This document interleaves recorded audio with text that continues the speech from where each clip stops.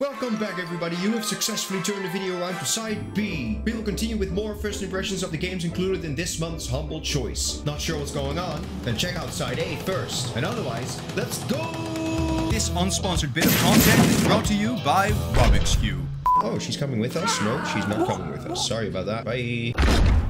This is Amnesia Rebirth, the third installment of the Amnesia series, the second one made by Frictional Games, the original developer of the first one. I very much enjoyed Amnesia The Dark Descent, so I'm very curious what they did with this one. It already looks very different. Very alien-like loading screen, interesting. So let's see what they did with this horror survival title this time. You do what you must to survive. Good voice acting. Very nice. We all know what's gonna happen now. The plane is gonna crash and it's all gonna be horrible one way or another, right? And we're in Africa. Very nice. Oh, there we go. There we go. I, I told you guys. What the hell? What just happened? That explains the alien-like loading screen, right? Jesus. Wow, that is wicked. That is not good. Okay, visions. We're getting visions. Okay, I am Tasi, and I'm assuming we have amnesia, hence the title of the game. What's going on with us? I'm struggling. I am struggling like Struggle Man would struggle. Um, well, that's the start of this story, right? It's broken, but I've got an inventory and I can use it. Oh, there we go. Oh, that went really smooth. We're in the middle of the desert. That's not positive at all. Where is everybody? That is the best question I've got. Oh, I recognize this sound from the other games. Oh no. Oh, gotta get to like, gotta get into the shadow. Ah, that's different. Okay. Great memories. Controls are pretty much the same. We can grab stuff. That's nice. And we clearly do not remember anything. Why was she alone on the plane, right? It's immediately mysterious and I like it a lot. Oh, whoa, stuff.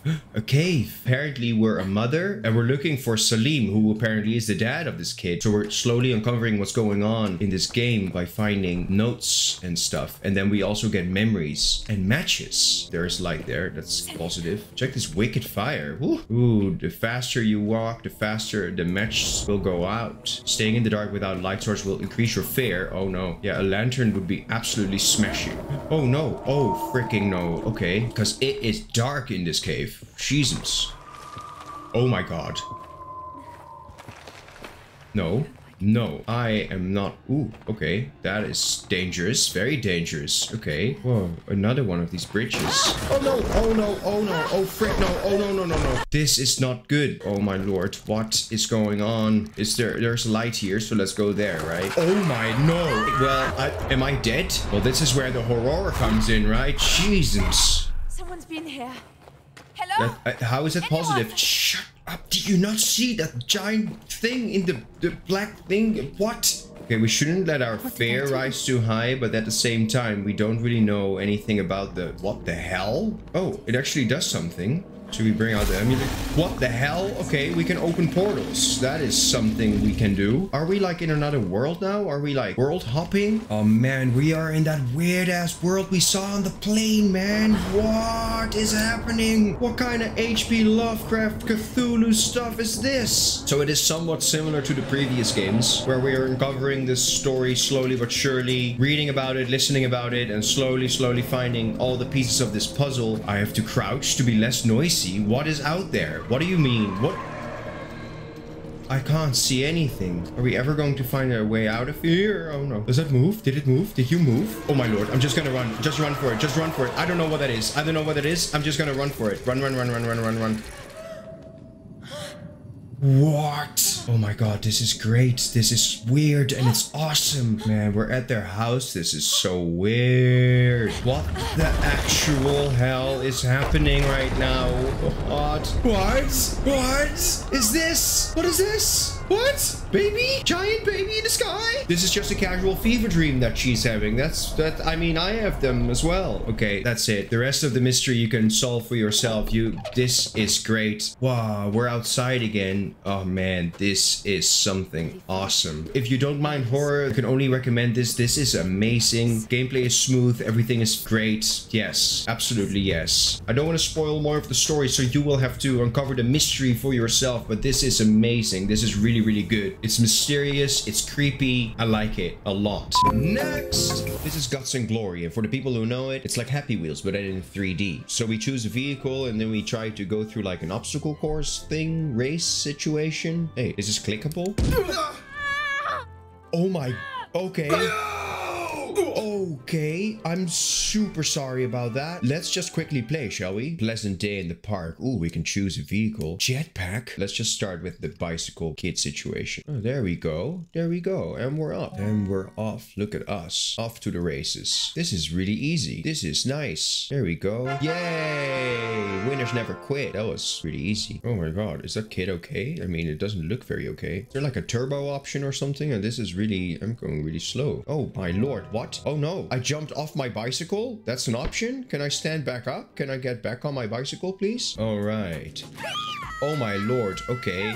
So yeah, the game just has different levels for you to play, and they're all like these silly little scenarios. It also has a bunch of community-made maps. You can make your own maps in the game as well. Oh my lord, look at us. Oh my god. Oh no. Oh my god. Okay, well, I... That was not what I had in mind. Kidding me? Go to the freaking end already. Hello, Mr. Sir. Man, I don't feel responsible for you right now. There isn't really a story going on or anything. It literally is just a sandbox situation where you can choose different vehicles and then you just go and potentially drive these people ah. over in a very gruesome... Oh, she's coming with us? No, she's not coming with us. Sorry about that. Bye. No, my kid. I'm gonna lose my kid. Oh my god. Cannons? Cannons? Okay, I lost my kid. That's okay. No, the checkpoint. I'm sorry, wife, but your weight is slowing me down. I need to eject you ah. from the car. Sorry about that. What happens if you just go out of the map? Like, okay, it's just the end of the world. Okay, bye. So yeah, in essence, this game is just absolute freaking silliness. All the silliness you can think of. I lost my little sister there. Definitely, definitely just silly. Why would I expect something normal? Apparently, we don't have, even have to drive this thing. It will just drive itself. That is something special, isn't it? This game is just a silly, gory simulation of weird racing stuff. This is something weird for sure. Oh god, well, let's go!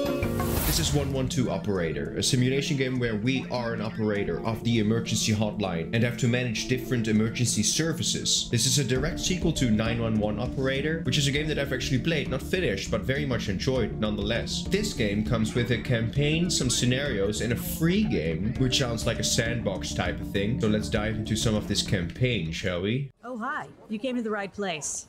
Okay. Welcome to the Emergency Management Center. In this European This is emergency all center is all work. managed by Americans for some Here, reason. you can- Uh, okay, that makes sense. So this is our map. The police is blue, the fire department is red, and the ambulances are white. Okay? Read it Incident. carefully to learn who you have to send. Medical assistance is needed, so I think we need to send an ambulance. What do you think? There we go. Got that going on. Interesting. You can zoom in super far. That looks funny. Yo, you, police. Go, go, go, go, go. An emergency call. 112, what's your emergency? Hello? Uh, hello? There's a bomb at the school. At Excuse me? A bomb? Oh yeah, they don't actually say the place. That would be expensive, wouldn't it? Yeah, I'm there. I'm there. I'll I'm send the police. the police. Please stay calm.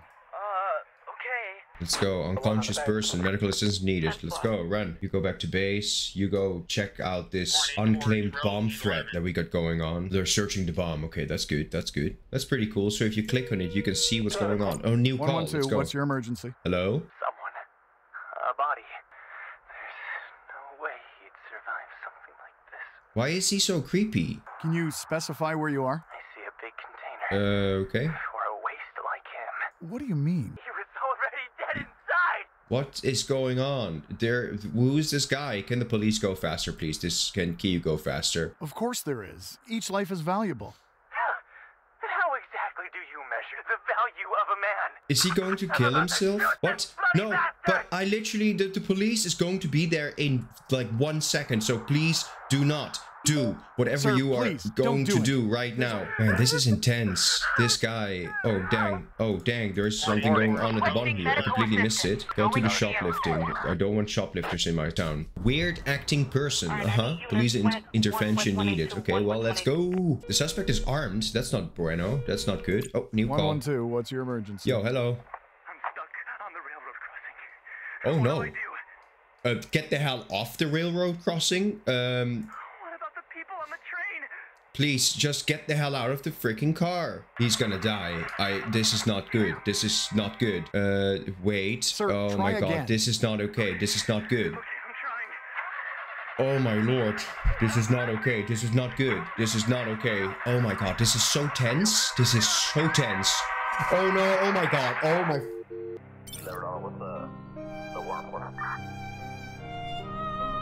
Yeah, this is just like the first game. This is very intense. It has very, very intense moments like that. I feel so bad. I feel so sad right now. How did my reputation go up? How is this not way down? This game is so special because it really makes you feel something. That's it. That was the day. Management mode. Units, objectives, emails, weather, statistics, districts. Okay. Well, wow. This goes really deep. You can recruit new people for in your vehicles. They got some stats going on here as well. So they're better at, for instance, driving or at being a medic. Oh, and they cost money, so we do have to take money into account. I have not seen any reserves yet. Oh, up there, duh.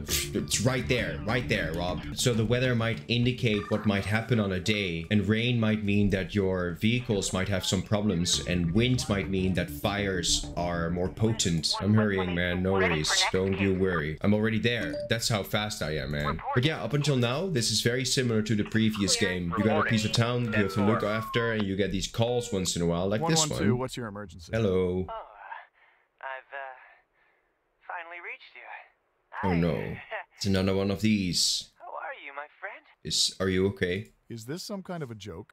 It really doesn't matter. No, it matters. Jeez. Oh no, no, that's not what I. I'll leave you be, just like everybody else. No, that's not. That's not what I meant.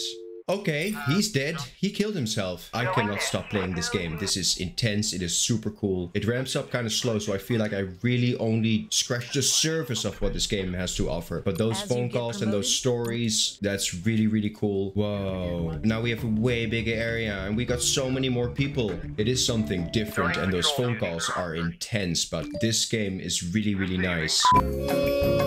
This is Garage Bad Trip, a top-down twin-stick shooter with pixelated graphics, and it is somehow also horror, and I like horror, so yeah, let's see what this game has to offer. I am inside of the trunk. Can I get out this trunk, please? Wow, this game is loud and bright, very bright. There we go, there is a story going on. I woke up in the trunk of a car. I had no clue what had happened. I definitely got hit in the head. Everything was blurry. Oh, blurry. This is very intense. I looked around. Something had happened. Something awful. I was standing in a pool of blood. oh no. So the game draws inspiration from like VHS tapes from way back in the day. And you can really see that with all the lines going on on the screen. It's actually pretty nice. So you're getting some kind of... Ooh, there is something in the box. That heals me. Nice. You can find some kind of story in these pages and stuff that you come across. I'm instantly getting vibes from like Hotlines Miami or like the old GTA games like GTA 1 and 2. Ow, ow, what? What the hell? Get out of here, you freaking rat. Are you kidding me right now? Is that going to blow? Okay, yeah, it is going to blow. Oh, I am on fire now. Oh, freaking rats. It's kind of hard to like kill the rat. You can only kick. Why are you doing so much damage to me, rat? Stupid rat! I had this feeling I'd see a corpse sooner or later. Why do you have that feeling? It looked like the poor bastard had been attacked by a grizzly bear. Yeah, probably not, man. Door's locked. I need a key. Okay. Um. Also, he, he's coming across these rats, but he thinks that that guy died by freaking a grizzly bear. Really? As I highly doubt it, man. Hello, I'm just looking for a key. What's with the footsteps? Who are you? Oh no, who are you? Jump scares, really? Cheap, cheapy jump scares. The game is cheapy, cheapy ass jump scares. There we go. Bam. And pick up the key, please. And I need med kits right yesterday. So it gets scary because of the ambience and freaking jump scares. Are you kidding me? Oh, so I can't jump around forever. Oh, stamina meters. What the hell is going on in this world, right? We have no clue what's going on yet. Ah, we have to craft a weapon. Oh, I did not see that coming at all. Okay, how does this automatically. That's very nice. That's very nice. Thank you. I can't seem to get the timing right with these enemies and they do so much damage. They do so much damage. Oh, this can't be good. This can't be good. Oh, uh, he lost his legs. So now, okay, well, now it's just pulp. But I have no control over what I hit exactly. So it is kind of random of what happens to the zombies. I can't. I cannot deal with both of these at the same time, apparently. This rat is so fast. so fast. See, this is what I mean. Now his head fell off. It would be great to like do that on purpose or something, right? Okay, you have to be like meticulous and slow about things because if you just run and gun like I am trying to do, then you die. No, no, no, no, no. Dude, are you kidding me? I am turning. I'm not kicking the right way. Just open this door and see how this continues. No, no, oh my god, I am, this game is difficult. Yeah, I don't really know what to think of this game. It seems very niche both in style and genre. It's also just brutally difficult. Are you kidding me? Now we're taking drugs? What am I taking drugs for? I found a secret.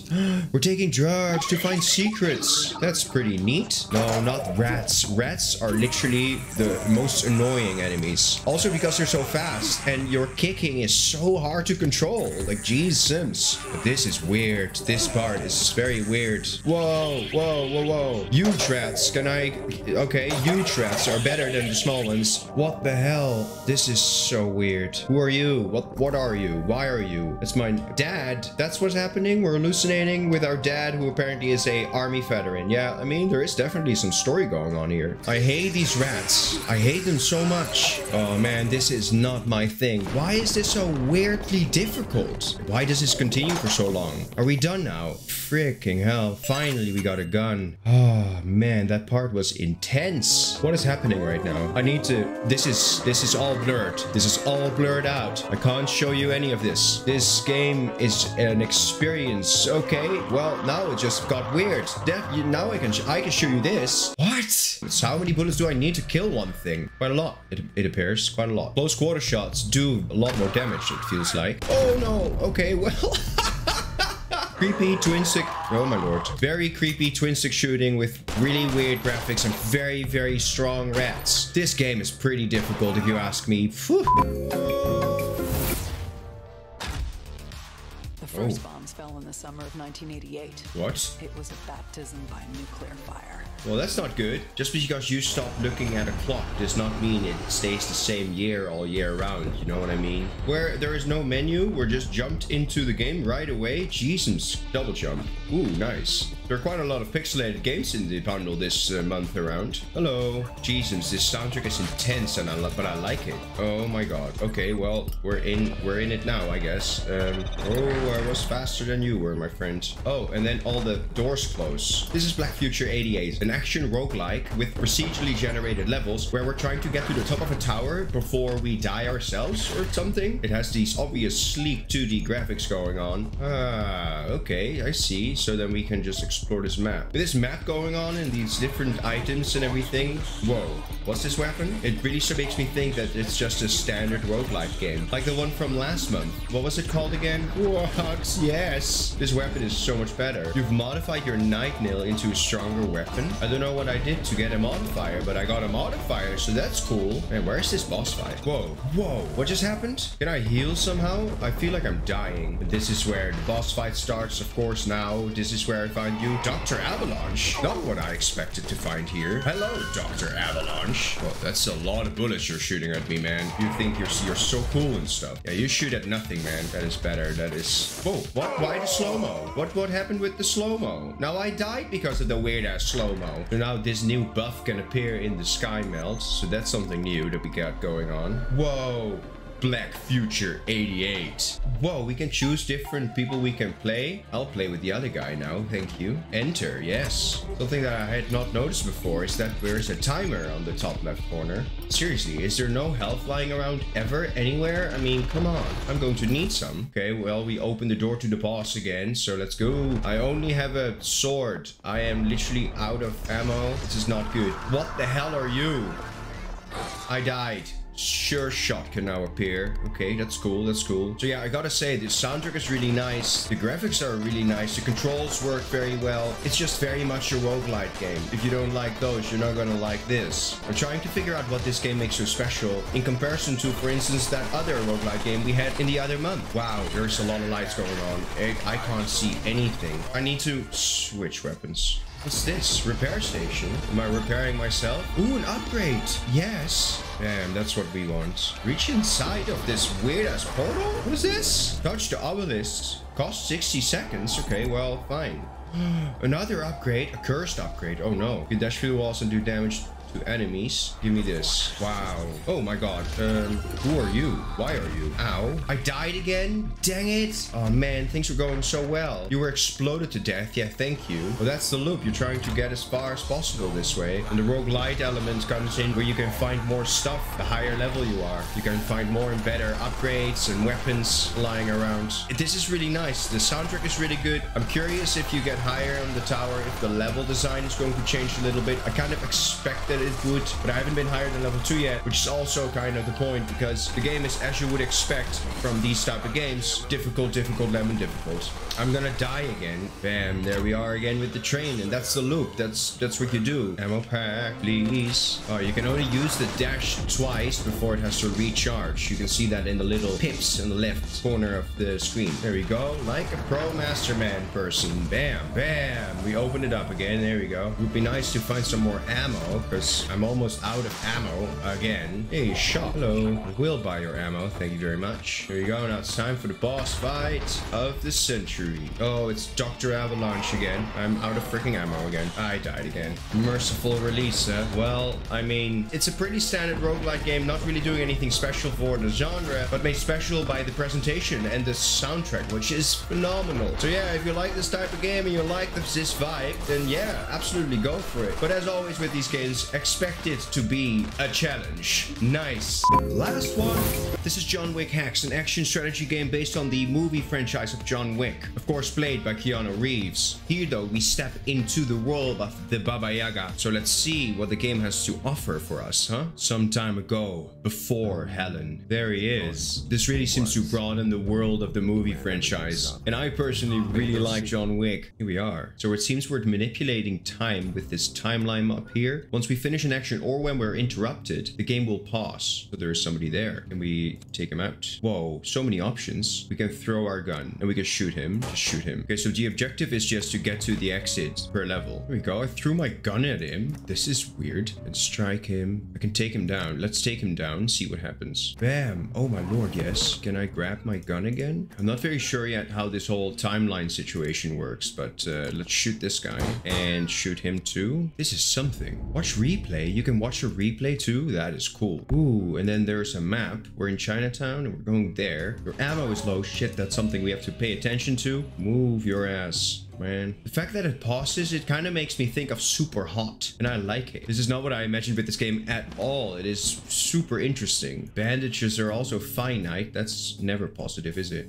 Shoot that guy. Oh shit, there's another person right there. Maybe use those bandages, man. Okay, cr crouching should help. Open that door. Ooh, oh, ooh. I like it. That's pretty cool. This is not good. I have to reload. This is not positive. This is not good. This is not good at all. Um, yeah, so time only moves when we move. That's quite interesting if you ask me. Man, we have to manage all this stuff. Now our health is low too. We're never going to make it this way. So it's kind of a management game where we're trying to manage our focus, our health, and our ammunition. Then where? Where is it coming from? Oh, he's right over there. Okay, shoot him, please. That's what the timeline means. A second timeline will appear once an enemy appears, so you can see when they can do something and what they're doing, so you can adjust accordingly. You can also see if you're gonna do something faster or slower than they are. Like here, where I was clearly faster. Shoot that guy shoot this guy too. He's going to shoot me first and then I can shoot him. I have to be very concentrated for this, but I am enjoying this. It's very tactical. Shoot that guy, please. There we go.